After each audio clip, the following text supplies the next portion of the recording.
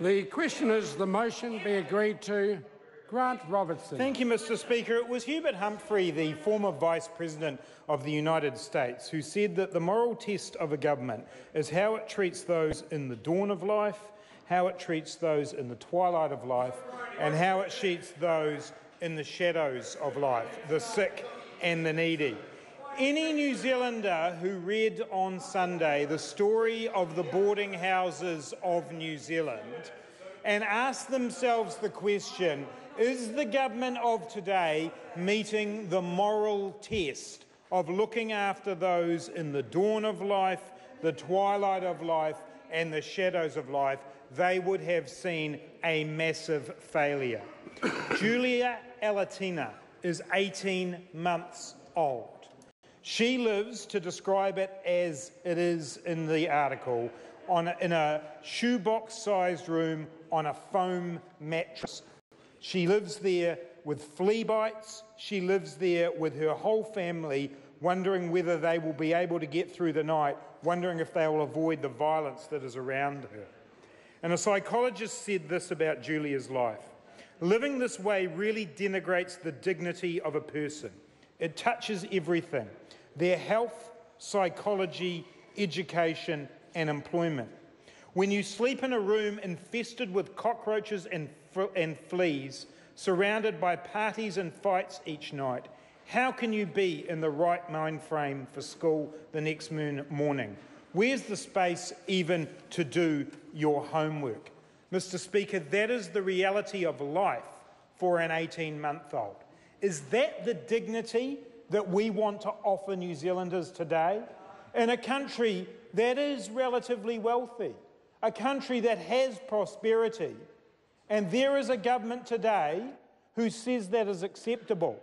And when that question was put to Bill English today, when his moral leadership was tested today by Andrew Little about what should happen for Julia Alatina, he said it's the Auckland Council's fault.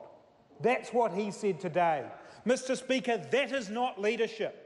If he's not ready to lead on that, move over because Andrew Little is ready to lead on that, and the Labour Party is ready to lead on that. Because David Bennett thinks it's more important that he gets a tax cut than it is that Julia Alatini gets a safe place to live. That is the moral code of David Bennett and the National Party. That it's okay for New Zealanders to live in squalid conditions while he gets a tax cut. Mr Speaker, once upon a time the National Party told us that they were ambitious for New Zealand. Well, I tell you what, I'm ambitious for every New Zealander to live a life of dignity, a life with security, and a life with hope. And right now, today, tens of thousands of New Zealanders are living without those three things. And if we go to any suburb in Auckland at the moment, we will see homeless people, we will see people in boarding houses living exactly those kinds of lives that I have just been describing. What we are ambitious for on this side of the House, Mr. Speaker, is that every New Zealander gets security and opportunity. It won't happen with the tired, out of touch National Party.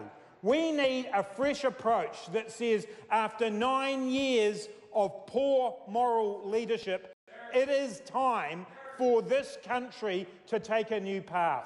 And that is one where we say collectively, we understand that it is our job as leaders in New Zealand to give every child the same shot at success that we would wish for our children and our grandchildren. The National Party cannot stand up in this House today and say that Julia Alatina is getting that kind of shot at success. A Labour government, Mr Speaker, will prioritise investment in quality housing, in healthcare that everybody can access, and an education system that gives Julia that chance. We will prioritise that over tax cuts for wealthy New Zealanders. That actually, Mr Speaker, is what this election will fundamentally be about the moral test of a government. I am proud that the Labour Party know where we stand when it comes to providing lives of dignity, security and hope. The National Party have failed Julia Alatina. It's time for a change of government. The Honourable Jacqui Dean. Mr Speaker, I want to